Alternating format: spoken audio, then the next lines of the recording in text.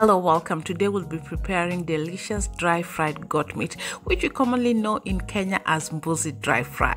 First things first is to cut up your meat.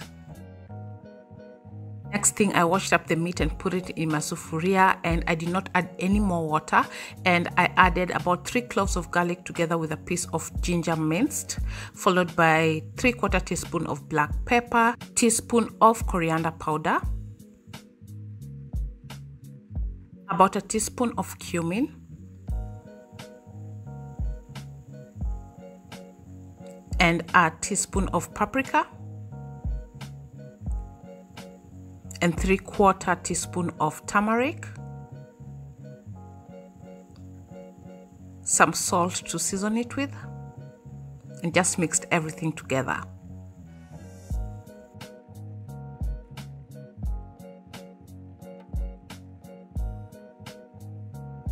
that is done. Cover your sufuria and let it cook on medium low and don't worry that the meat will not cook well. Goat meat has its own water.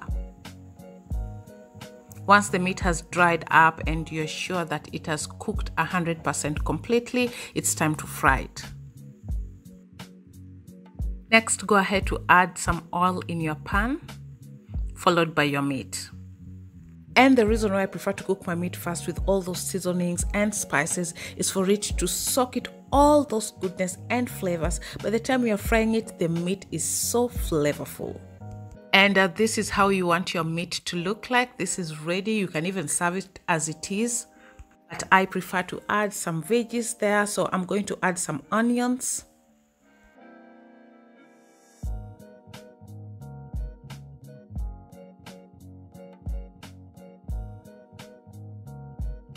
I'm just going to fry the onions until they're translucent, not crispy or too brown. And then I decided to add in some green bell peppers. You can go ahead to add in colored bell peppers, that is the red, the yellow, and you can even add any other veggies that you prefer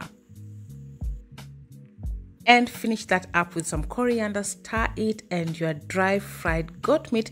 That is mbuzi dry fry is ready to serve. This was so delicious. It was done within minutes and i can't wait for you guys to try this recipe. Please share it with your friends and family. Let me know how yours stand out on the comment section down below once you try it. And thank you so much for watching. Don't forget to subscribe. Turn on your post notification. I will see you on our next recipe. Till next time bye bye